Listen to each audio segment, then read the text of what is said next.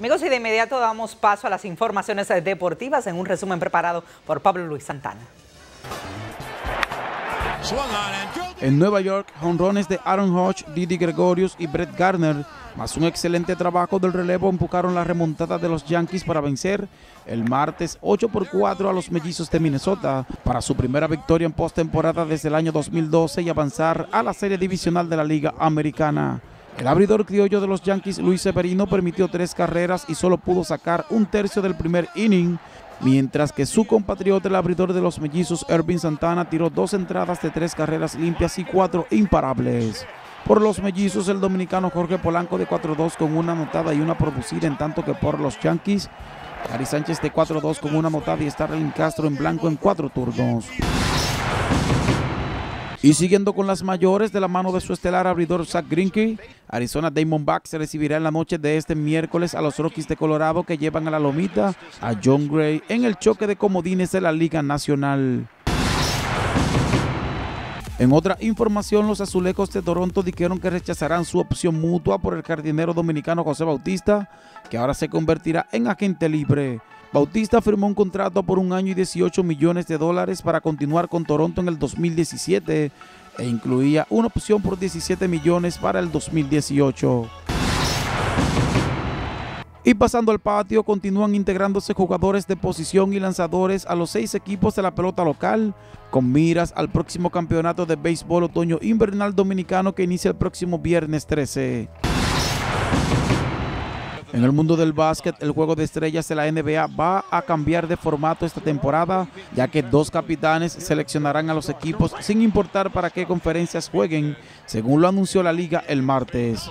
Los jugadores de cada conferencia que ganen la votación de los fanáticos serán los capitanes que escogerán los dos integrantes de cada conferencia para el juego que se disputará en Los Ángeles el 18 de febrero. En los resultados de la pretemporada, Carmelo Anthony jugó su primer partido con el Thunder de Oklahoma City y junto a Paul George no evitaron la derrota 104 por 97 ante Houston Rockets, liderados por James Harden y Chris Paul. En las deportivas, Pablo Luis Santana.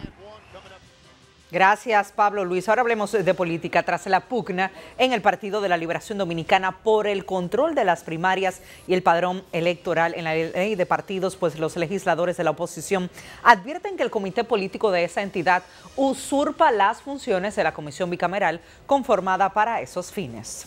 Como nosotros no entendemos el por qué este sector del Partido de la Liberación Dominicana pretende tratar de imponerle al país esta situación que además de que es inconstitucional, además de eso, la gran mayoría de la sociedad dominicana se opone a esto. La oposición, que somos parte de esta comisión, nada más nos queda un camino, es retiro.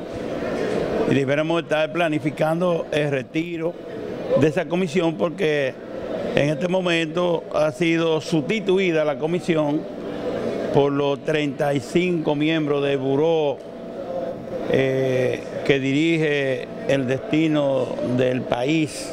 Reina una preocupación extraordinaria en muchos congresistas, incluyendo del propio Partido de la Liberación Dominicana, en que con sus acciones sustituyan el rol del Congreso. La preocupación en el Congreso Nacional surge a raíz de la propuesta del máximo organismo del partido oficialista de consultar expertos para conocer la constitucionalidad de la realización de primarias abiertas y simultáneas con el padrón de la Junta Central Electoral. Y una jueza de la segunda sala penal del Distrito Nacional declinó este miércoles el expediente sobre la querella de difamación interpuesta por el ministro administrativo de la presidencia, José Ramón Peralta, contra el dirigente del Partido Revolucionario Moderno, Leonardo Faña. La magistrada Clara Luz Almonte Gómez envió el expediente hacia la novena sala penal del distrito para que sea conocido junto a la querella por injuria contra Faña en el mismo tribunal que preside el juez Vladimir Rosario, contrario a lo que pedían los abogados del funcionario. Y uno de esos incidentes planteábamos que no se podían abrir dos juicios por los mismos hechos en dos tribunales distintos. Y dijimos que podría ocasionar un conflicto jurídico que se llama litispendencia. Y efectivamente, la jueza de la segunda sala, apoderada de del segundo expediente por injuria, resolvió precisamente acoger en cuanto a la forma el escrito de incidente propuesto por los abogados de Leonardo Faña. Están nerviosos, saben que no tienen el caso, que el caso no lo tienen en la mano, eso no es verdad. Aquí no puede haber un juez, no lo hay, considero yo, que se atreva a condenarme a mí enseñándole la verdad. Eso. Para este jueves, el presidente del Frente Agropecuario del PRM depositará en el Palacio Nacional un documento en el que se acusa al ministro Peralta de violar los artículos 75, 135, 146 de la Constitución para que se destituya al funcionario. La próxima audiencia del caso será a las 9 de la mañana del lunes 16 de este mes. Bueno, y dominicanos del Alto Manhattan siguen en pánico tras tres días después de la matanza en Las Vegas, Nevada. Manuel Ruiz nos cuenta los detalles de lo que ocurre. Adelante. Muy buenas tardes, Manuel. Saludos, muy buenas tardes a Rafaelina Visionó. Tres días después de la masacre de Las Vegas, Nevada, se siente el pánico entre residentes del vecindario del Alto Manhattan, aquí en Nueva York, donde el Departamento de Policías redobló la seguridad en puntos estratégicos de la ciudad tras este hecho ocurrido la noche del domingo y en la que fallecieron al menos 59 personas y más de 500 resultaron heridas. La informada informó que sus unidades de élite vigilan sectores como Times Square, pero solo como medida cautelar.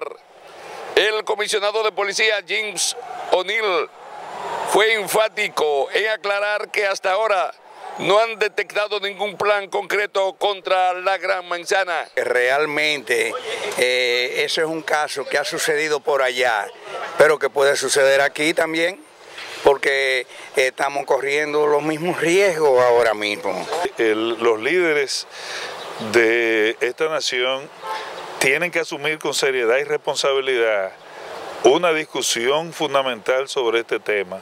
Nosotros aspiramos a que la administración Trump, que está planteando ya una discusión del tema, porque lo dejó abierto ahora el presidente, tome en cuenta tantas voces y tantos hechos sangrientos que se han producido en toda la nación. ¿Cómo se puede ya escuchar y ver? Hay mucha preocupación entre los residentes de acá de Nueva York por lo ocurrido en Las Vegas, Nevada. Sin embargo, dice que no basta con decir que el uso de armas es peligroso, sino que se debe actuar en consecuencia para evitar que sigan produciéndose nuevos hechos aquí en los Estados Unidos. Transmitiendo directamente desde el Alto Manhattan, Manuel Ruiz, ahora nuevamente retorno contigo para que continúe con más noticias.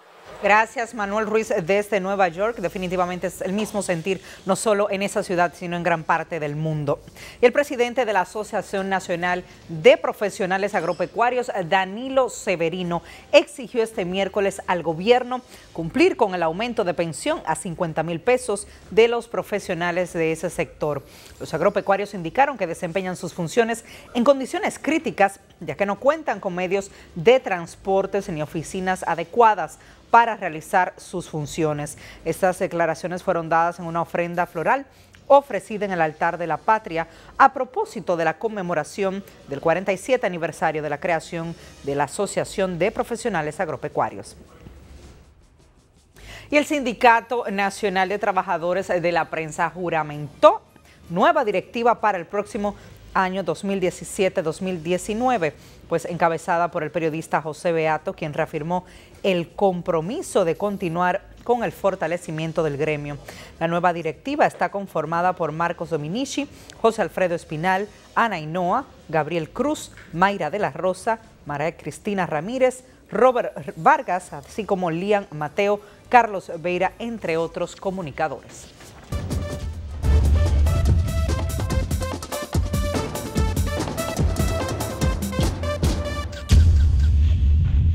Damos paso a las principales informaciones del mundo de la farándula. Inmaculada Cruciero nos acompaña y nos informa. Adelante, buenas tardes. Muchísimas gracias, Rafaelina. Muy buenas tardes.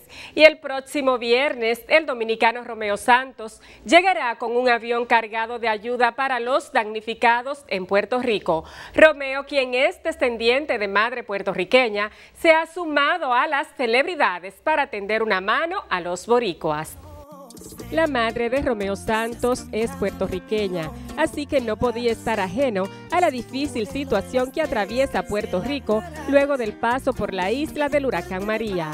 El artista dominicano tiene un avión cargado con ayuda para los damnificados. Llegamos a nuestra meta, no estamos aceptando ya donaciones de ropa, artículos, pero sí eh, donaciones eh, monetarias, porque ya cumplimos la meta y estamos ahora enviando más aviones eh, para Puerto Rico. Y es una situación muy lamentable, pero tenemos que levantar la cabeza. el 7 de octubre voy personalmente a Puerto Rico en un avión y haciendo todo lo que pueda hacer como latino. Santos también se vio afectado por la falta de comunicación, ya que en los primeros días no había podido hablar con sus familiares. Es fuerte y es fuerte sobre todo porque estamos pasando ya, o sea, no nos hemos recuperado de esto que ha pasado en Puerto Rico, México y, vemos esto y es como wow, o sea, lo único que yo puedo decir es que es difícil eh, a veces eh, pensar con optimismo cuando estás pasando por estas tragedias, pero hay que poner eh, la fe en Dios, o sea, de que todo esto va a mejorar y que we're gonna, we're move forward. El artista dijo que es difícil ser optimista ante tantos acontecimientos, incluyendo la masacre de la madrugada del lunes en Las Vegas. Y en otra información, la salsa será otro de los géneros que formará parte del Festival Presidente y la Chiquito Timbán tendrán a su cargo el sabor en tarima de este gran evento. Para nosotros es un privilegio que tomen en cuenta nuestro humilde proyecto. Eh, eso es parte de, lo que hemos logrado como agrupación. La agrupación que lideran Emmanuel Frías y Rafael Berroa atribuyó que el éxito de la Chiquito Timbán ha radicado en que cuenta con un sonido muy original. Eh, donde quiera que vamos nos dicen, oye, pero ustedes tienen un sonido peculiar y de eso se trata, de que la gente sepa que en República Dominicana se hace buena salsa.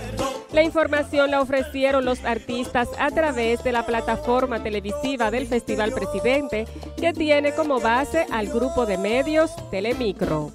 El Festival Presidente comienza a contar su cuenta regresiva y los dominicanos se preparan para adquirir con tiempo sus boletas y disfrutar del gran evento los días 3, 4 y 5 de noviembre en el Estadio Olímpico. Así concluimos por el día de hoy. Será hasta mañana que pasen feliz resto del día. Gracias, Inmaculada, sobre todo por el anuncio que hizo Cervecería que el 10% de lo recaudado por las boletas del festival pues sería donado a los damnificados por los huracanes pasados por República Dominicana. Nosotros nos despedimos por esta tarde. Bendiciones para todos. Será hasta mañana.